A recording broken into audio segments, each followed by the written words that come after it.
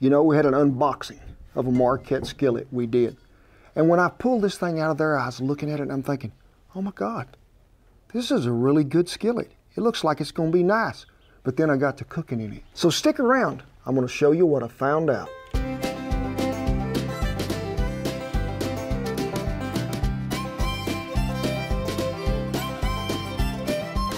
Whew, it has been a long time since we have done an unboxing and a review on a piece of cast iron.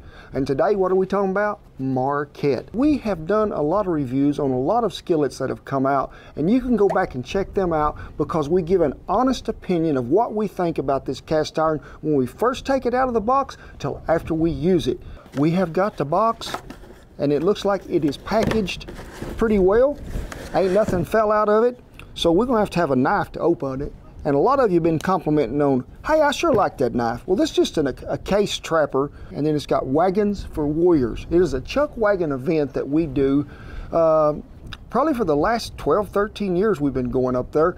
And it's Memorial Day weekend. There's a lot of wagons that gather around. It's for a great and worthy cause of veterans and servicemen and women. Uh, be sure and check it out on our little website there because folks, you don't want to miss out on it. Let's get on to what most important right here, and that is the unboxing of this piece of cast iron. The Big is here. He said unboxing means there's no food, right, Big? Let's just look in here just a minute before we even go any further. Investment cast, flared pour spouts and a rim, lightweight design, and a lifetime warranty. Oh. Well, folks, I'm going to tell you on cast iron, it is something that can be passed down from generation to generation to generation. I'm just going to open that back towards me. It's very simple. I like Yes, it is. And it's, we're going to read this here in just a minute, but first I want to get this out. And folks, I do like the way that they package this to where Hang on, what's uh turn it around. Turn it over. What's on the side? side right here, I think it's just for where it's rubbed in that paper. Oh, is it like Yeah. oh it comes off. Oh, It'll okay, come off. Okay. Where it's just been rubbing on that white paper. Oh, okay. 10 and a half inches. Now, let's go to thinking about that. Is that 10 and a half inches from outside to outside here, 10 and a half inches on the inside? So we're going to go from pour spout to pour spout, and we're going to be at 10 and a half inches.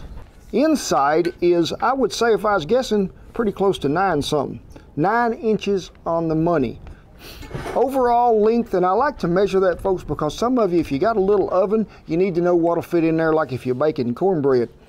17 inches. The handle itself is six and a half inches. But something I do like on it is a pour spout. Now, I have poured a lot of gravy with these, and I like it that it's on both sides. I think that makes a difference to me. Uh, the handle, you can see, if I can turn it over here to you like this, it is rolled a little. It's not just flat here on the ends, so it does feel a little better on your hand. Let's look at the inside of this skillet, and you can see that it is seasoned. It's got sort of a good sort of bronze color to it to start off with. Uh, they season with a base of flaxseed oil. And folks, I have used a lot of flaxseed oil in the past. And if you keep using it time after time after time, to me, it'll get a little brittle. It'll begin to crack a little. You'll see some cracks in your seasoning as you're going. Uh, I don't mind starting out some with a flaxseed oil. Uh, but if we're going to go back to it and really get it to take a bond where it's going to get good and glossy black, I'm probably going to put grapeseed oil in here. But I do like this too here where the handle is split off this instead of just coming right here. Now this handle will get hot, but I'm thinking this deal is going to help that. It's not going to get quite as hot as just it was just singly attached here straight to it. And for the old time people here, I want you to look. Now do you see this little raised edge on here? That is what we would call a heat ring so many years ago. Now them were developed for cast iron because they were always put on an old cast on an old cast iron stove or an old wood stove that got really really hot. That give it a little barrier. It did. I don't think you'll have trouble putting it on any cooking surface you want. But I do like the weight. The overall weight it says four pounds. So this is going to be a more to me like some of the traditional old iron that Griswold or maybe Wagner made.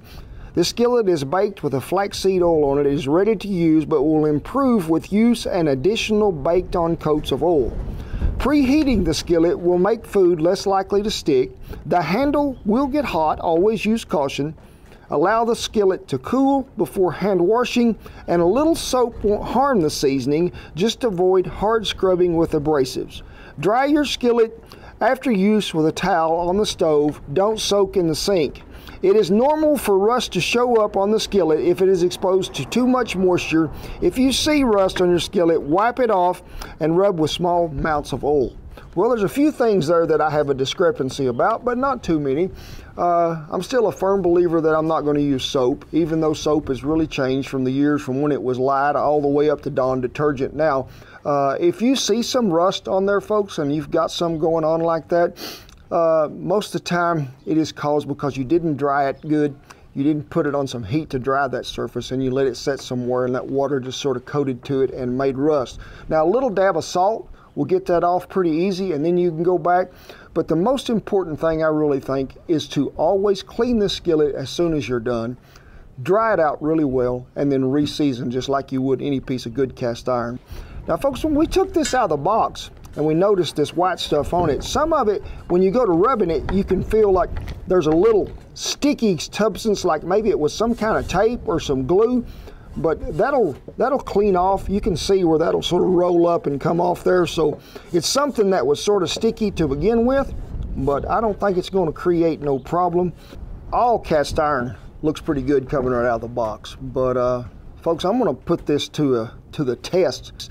Uh, we'll see how really, first of all, it accepts seasoning. And don't think that you're going to get that automatic black coat finish the very first time. But some of them always seem to beat up that oil. They're never really just letting me get that first good base coat on there. So I'm going to see how it seasons, how it cleans, how it reseasons, but most of all, how it cooks, and it isn't easy to take care of.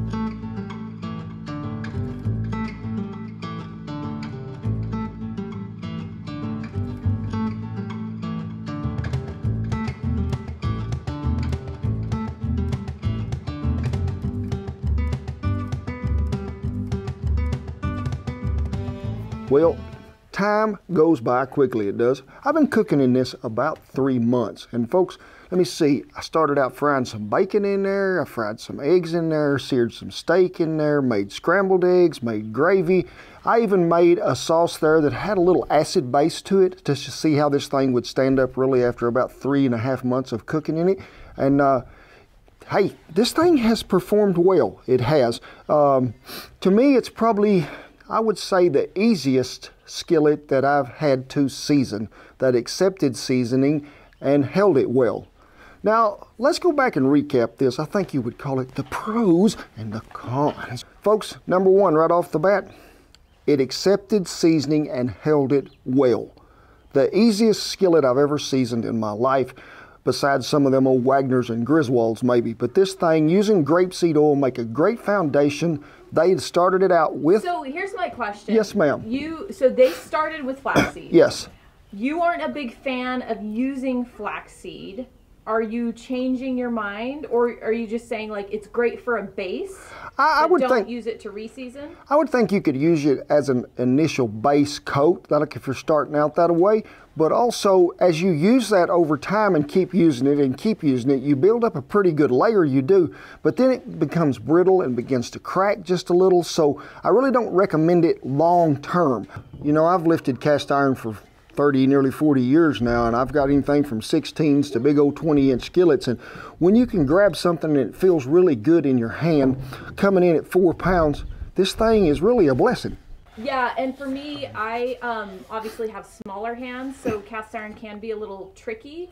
But I also found that the handle was very ergonomic. And, yes. And it did feel good. That and it is, doesn't, a lot of times they can kind of cut into Yeah, because a lot of them, a lot of time will be square edged or have something on the bottom that's really sort of not friendly to your hand.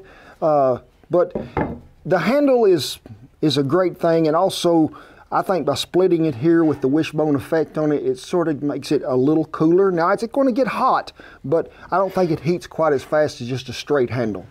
So, when you got pros, you always got some cons. I don't care what it is. Might have been the best horse in the pen, but when you lead him out there and you use him a while, you think, oh, there's a little something here. Well, the number one thing that I found out about this is really the price. Now coming in at $249.95 for a 10 and a half inch skillet, and a lot of you right now are back in plum away, crawling under the TV and thinking, this ain't for me.